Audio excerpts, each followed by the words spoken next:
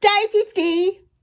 I'm actually day 54 today, but I wanted to just stop and celebrate myself, but also give some information for anyone else that's doing this of the differences I've noticed after 50 days. All right, so I'm actually just going to break it down into two sections, mindset and my physical self. So if you don't know, I'm actually on this journey for healing. Weight loss is obviously massive. I have 100 kilos to lose, which is 220 pounds. I've tried so many things. Anyway, um, and my mobility is suffering now. I'm 56. Am I 56? I'm 56. yes. Um, and so accumulation happens over years. And uh, yeah, anyway, it's a no-brainer. I think we can all work that out. All right, so let me just talk about my mindset. Number one, right from the beginning, I made a decision to focus on healing. I weight loss is massive for me. It is a massive part of this, but I've done, uh, like I've been, I've been ketovore for three, four, five years. I need to work out when I started. Probably, I probably low carb five, six years ago and ketovore definitely for at least three years. And then the longest I did carnivore for was two weeks, 14 days. I made it 14 days. And I did feel so much better. My mood, I don't have depression, but my mood got so much better. They and my inflammation decreased. They were the things I noticed in 14 days. And always, whenever I would do three or four days of carnivore, and then I'd be ketovore for a week, and then I'd do a few more carnivore days. That's sort of been my last so many years. I always felt better. The less carbs I have, I feel better. I'm sugar sensitive, which is not a medical term, but so coming into this, signing up with my daughter, not signing up formally, but um, saying yes to Emma, doing it with her for 90 days, I knew that I couldn't focus on weight loss because those times, sorry, I told you all of that to tell you that I hadn't lost weight when I, you know, over the so many last years of doing ketovore, keto, carnivore, I've still, you know, I'd, I'd probably lose a kilo or two in the first week and then I would just keep, um, put it back on or, or not lose any more. Okay, so nothing, no weight loss to speak of. So I knew I couldn't focus on that. Otherwise, I would quit because I've I've done this cyclically so many times. Excuse me. So number one, I made that internal decision to focus on healing. And then where that would lead my body is hopefully to weight loss. And I wanted to do this just for my own brain to know whether I am or am not going to lose weight with carnivore. I want to know that for myself, doing it for a long period of time. And I have not done that for a long period of time. So that was, you know, a personal goal of mine. To stick to it, exclusively. When I say that, I'm not doing the lion diet. I'm not doing meat and salt. I'm doing I'm doing the carnivore diet and I've I wrote a list of what I am allowing myself and spices and herbs are included in that and so is sweeteners. I have not had very many. I've only had it a few times, but I, I can have it. I could have it every day if I wanted because that's what I'm allowing myself. I know that some people listening or watching won't agree with that and I get it. That's your opinion. You're totally entitled to that. But I'm also entitled to my opinion. I've had a few comments and things which I know is part of the part of the deal. I understand that. But anyway, my focus is on healing. It still is on healing. Um, and I'll give you an update at the end on um, where I'm going to go, what I'm going to be doing after the 90 days. Right. So number one, My mindset is I'm doing this for healing first. First. Mobility and then weight loss. Okay, or weight loss and then mobility. It's probably more logical that weight loss comes second because my mobility has a lot to do with my weight. So, yeah. Um, so healing, weight loss, mobility, that in my mind, but I'm not focusing on the other two. I'm just focusing on healing. And what I can control, what I can't control is what I weigh on the scale. What I can control, excuse me, is what I eat every day. I can control that. And it's going to have the effect that it has on my body. Sorry. Still getting notifications from my Etsy shop. All right, number two, I have no option. This is a mindset, right? You know how we have mindsets about everything. And when we're intentional about our mindset, we have more control over what we're doing. How we think affects everything. So, number one, my focus, I'm, I'm just focused on healing, which is why I haven't been weighing myself. I still haven't weighed myself yet. Um, I'm still deciding when and what and how to do that. Number two, I have no option. What, am, what else am I going to do? I've tried everything. I've absolutely tried everything. Well, it feels like I've tried everything. I probably can't be absolute about that. So I have no option. If I stop doing it tomorrow, I, I don't have... The only other thing that works for me is the HCG diet and it's so restrictive and it's not a way of learning a new way of eating. It's a diet. It's an actual diet that you stick to and then you come off of it and you do not eat the same way. That's what an actual diet. It's not a lifestyle. And there's a hormone which helps and actually really does work for me. Um, my body loves it it switches with, it works in my hypothalamus, my leptin and ghrelin. It could be because I'm leptin, leptin resistant. That could be why my body loves it. And unless you've experienced it yourself, you wouldn't understand. You, you, you just won't understand. So number two, I, I have no option because I don't, I just don't want to do that right now. Um, number three, every single day I feed my mind, my mind with uh, nutritional information, healing information, carnivore information, low carb information, zero carb information, keto information, but not so much keto at the moment. Um, whatever I'm interested in that day, that's what I feel to do with eating this way. If I don't keep myself in that space, I wander because I'm I'm creative, I'm um, innovative, I'm the sort of person that needs that stimulation in my mind. I need to be in control of what I'm doing. I'm a leader, so I'm always looking for how to improve, what to do next, you know, and my creativity, that's why I like doing recipes and working out stuff that's just for me, right? Food that's just for me. So every day I've been feeding my mind. My vlog this is part of my mindset is, is for me to be accountable to myself, but also I actually care about the people who who are listening and who are watching right now. I care, I actually care about you. I know I don't know you, but I actually care about how you're going and, you know, if I can help in any way.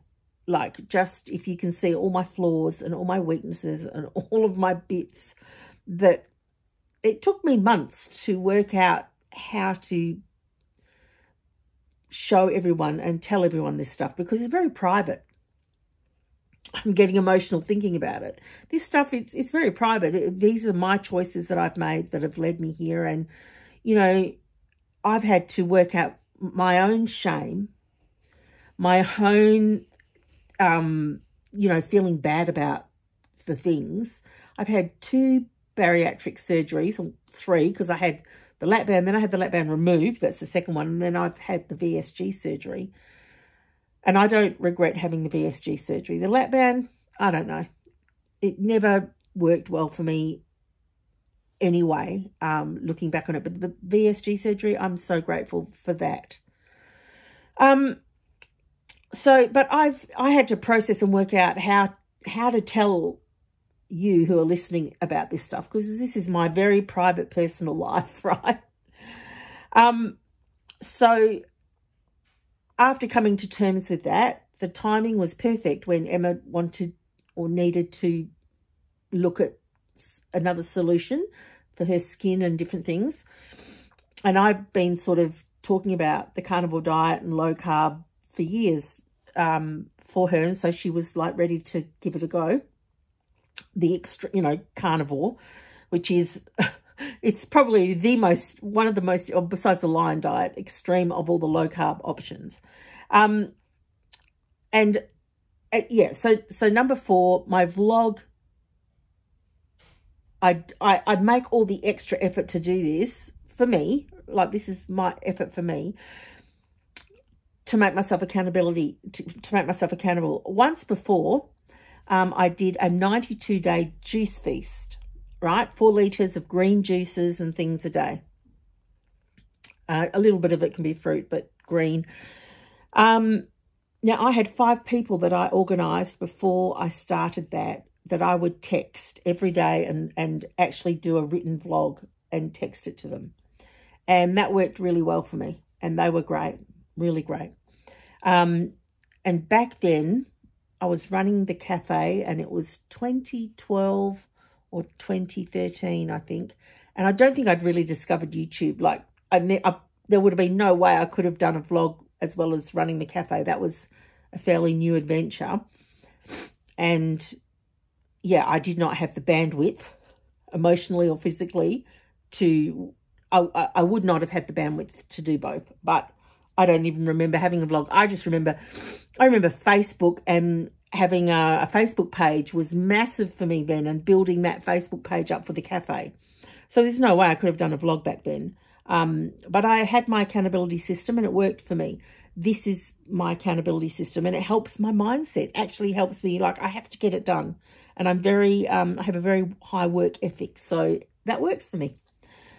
And number five, I suppose the other mindset worth mentioning um, here at the 50 day mark is that I have hope,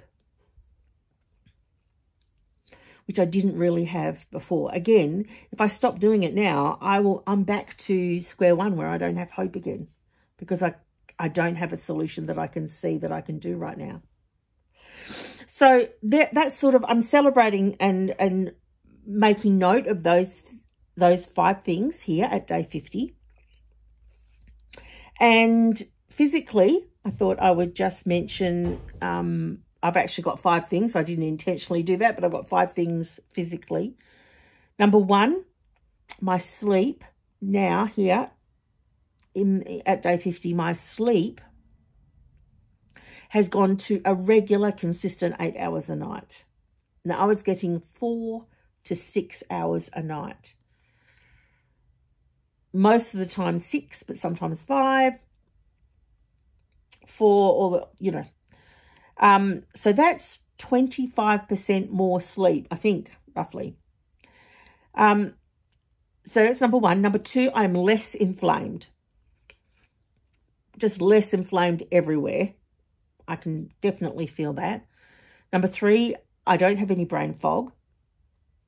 And I'm trying to remember what it was like. And yeah, I definitely don't have any brain fog right now. Number four, I feel 1000% better. Yes, there's still room for improvement, of course, but I definitely feel better. And number five, I don't have any dread. And that's linked even to the hope. But I, I just don't have any dread. Like, without going into all the things I dread about, which I'm not going to do right now, I don't have any dread. So that's, that in itself is, is it worth this whole journey? I think I need more than just that, but it's pretty powerful for me. Like, that's, that's amazing. So where am I going from here? Um, Emma and I both decided we want to stay doing this particular program longer, protocol longer than 90 days. So I'm definitely going to 100 days. I think loosely I'd like to do it all year, but I don't want to make that commitment yet until I get to 100 days. And then I will know whether I want to do ketovore or whether I want to stay carnivore. I mean, they're really the two things that I enjoy. They're the two protocols that um, I love.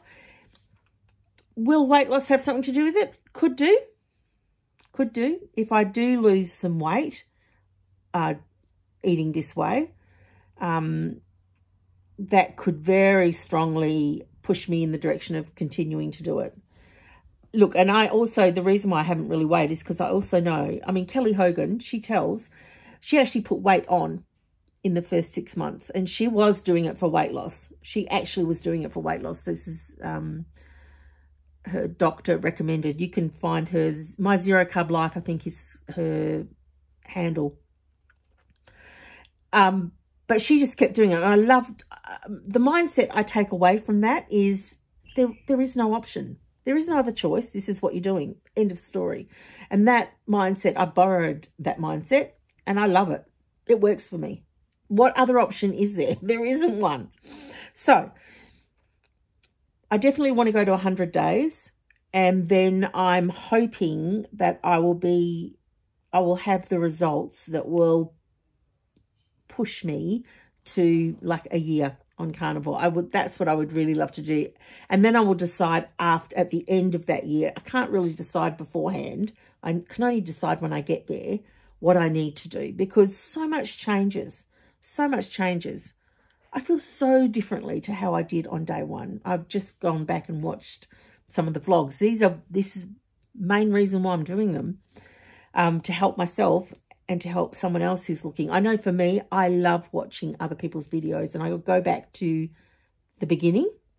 YouTube for a while took away that option of watching the oldest, but they've brought it back now. I love going to the oldest to see the progression of the journey and I want to see that in me as well, you know. So that's it. That's where I'm at. 50 days has been amazing. It's not enough. It's not enough. And I honestly don't even feel like I've been doing it for 50 days or 54. This is day 54 today. Um, I really don't feel like I've been doing 50. I actually feel like I've like I've been doing a week. it's it's bizarrely good. Um, but yeah, that's it. That's me. Now I've got to I've got to record some a vlog for day 50, 51 and 52. I think I'm going to do three days. Oh, is today day 50, 51, two, oh, day 53 today, not day 54. Yes, all right. Please feel free to give me some encouragement. I love encouragement. I will do my best to respond to you. Um, let me know what, what you're doing and where you're at. I'd love to know what, what you're doing and where you're at. Even if you're ketovore or keto or whatever else. And if you're just curious, carnivore curious, love that because you got to do you, right? I got to do me, you got to do you. And uh, we can certainly, you know, still connect and encourage one another even in that space. So I hope you're doing well. Sending you lots of love and I will check in with you soon. Bye.